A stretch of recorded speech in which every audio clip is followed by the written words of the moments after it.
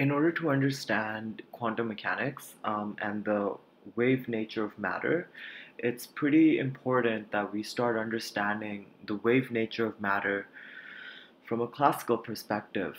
So, first, let's see how classical physicists described waves, um, and then based on that, it'll really help us understand how quantum mechanics people they describe waves. So, I'll begin off with an example. Uh, so, let us consider a wave that we make by a rope. Pretend that we have a rope or a string that I tie one end of the rope here along x is equal to 0. I, I, I call this point x is equal to 0. And then on the other end, I tie it along, let's say, a second wall, um, and I call that x is equal to L. So I have some sort of boundary set up, um, and in between that boundary, I have a wave. So for terminology's sake, let's find out all the variables we have.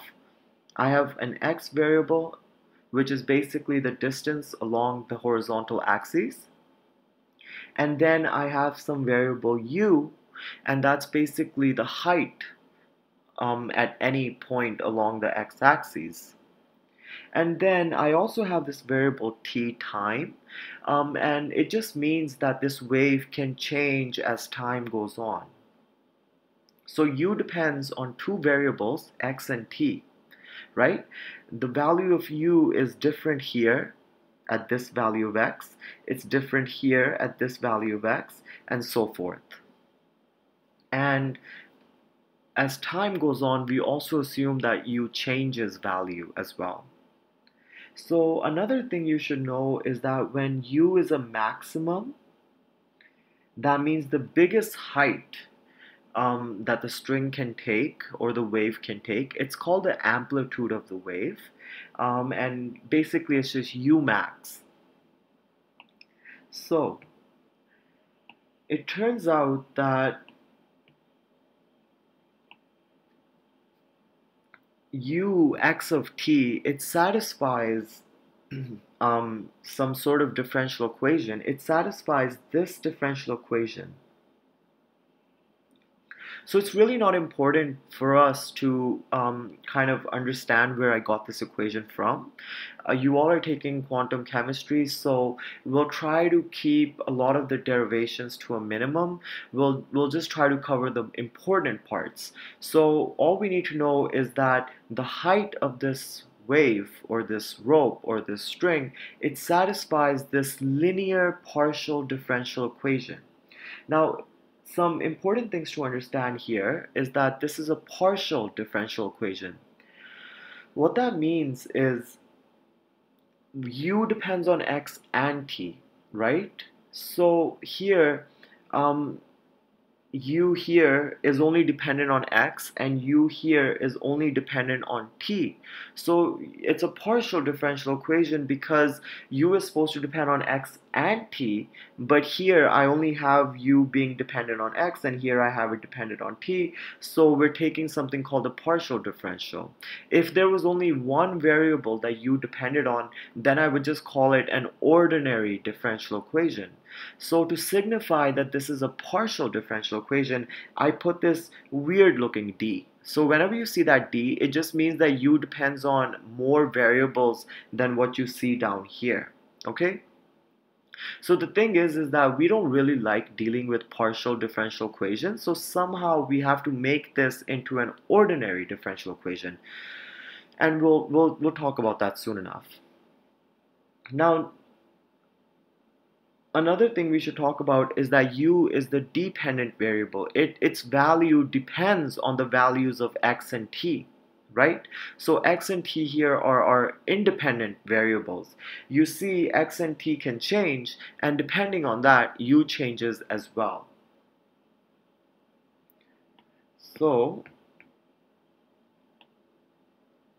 we also whenever we have partial differential equations, it's very important to set up something called a boundary condition. Um, without boundary conditions, it's very hard to solve partial differential equations. So boundary conditions are basically how the physical system is set up. um, when you do problems like this many times, boundary uh, conditions will become very easy for you to identify. So here the boundary uh, condition is this. Um, I have one boundary at x is equal to 0 and I have another boundary at x is equal to L. The important thing is at both of these points 0 and L, the value of u is equal to 0. That means the string has 0 height.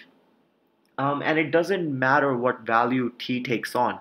If I'm standing in this system for 10 years, 100 years, or a billion years, I've set up the system in this manner that at those two ends, u will always be 0. Now moving on, uh, it turns out that we can solve this equation, this equation, for u x of t by a special method and it's called separation of variables.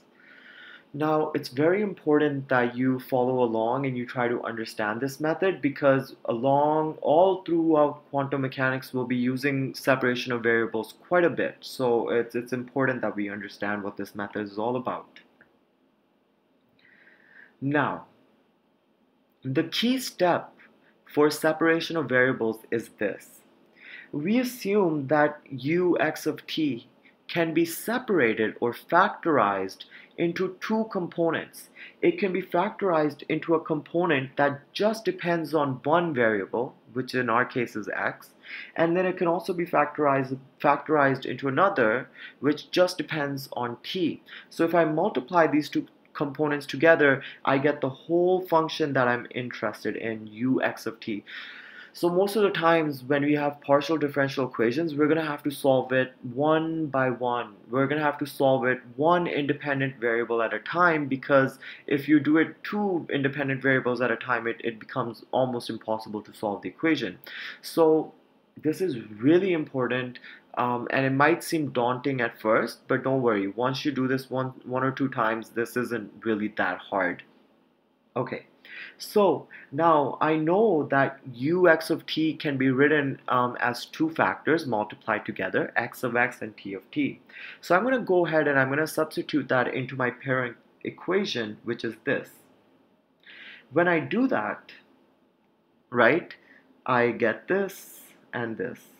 So all I did is I substituted u with the two factors. Now in this part of the derivative, the derivative only depends on x. That means we can treat t like a constant and we can pull it out. Similarly, here, the derivative only depends on t. So then I can bring out x and treat it like kind of a constant here because d here, we assume that it only depends on one of the variables. So the other I can just pull out. So that's what I just did in this step. Um, for this one, I say that t kind of acts like a um, constant. So I pull it out and I'm left with only x terms. And here I say that, um, you know, x acts like a constant because this derivative only acts on t.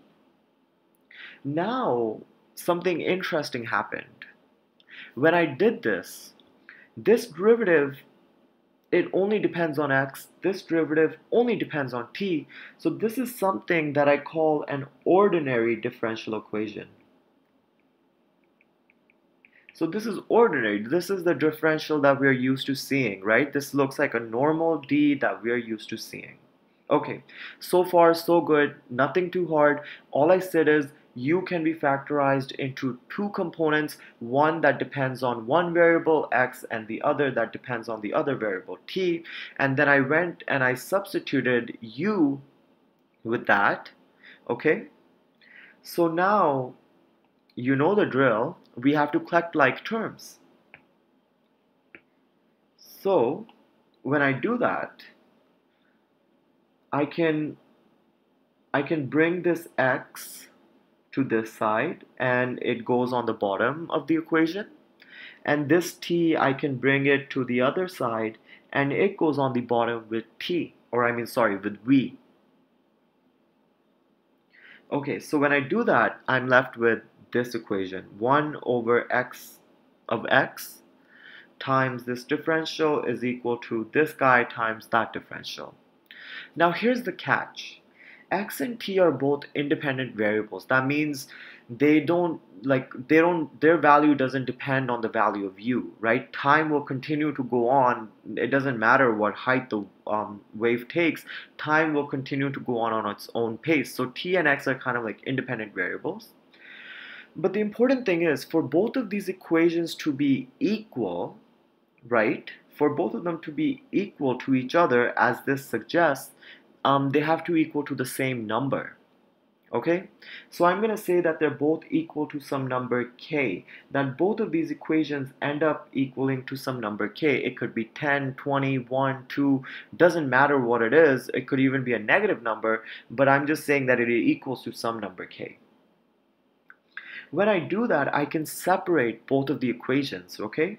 I can say that this guy it's equal to k and similarly the t terms are also equal to k.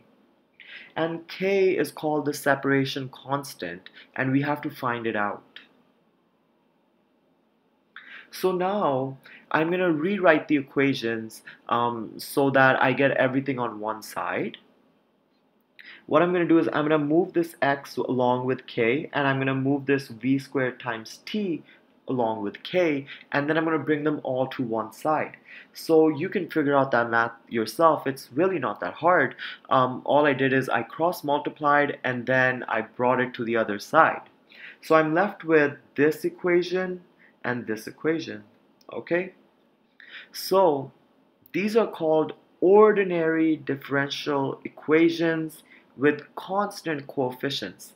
This constant coefficient negative k and negative kv squared, they're constants. They don't change their values. Okay, so that makes our life a lot easier. From the first equation, I can find out x of x.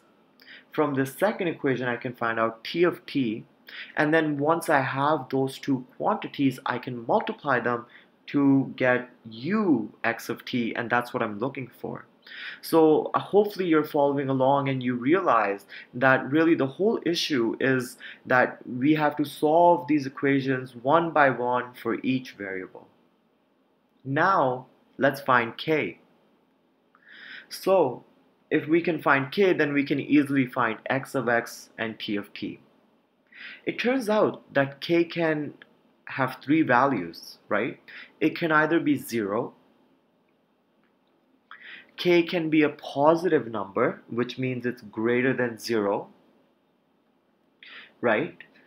Um, or it could be some negative number um, that's less than 0.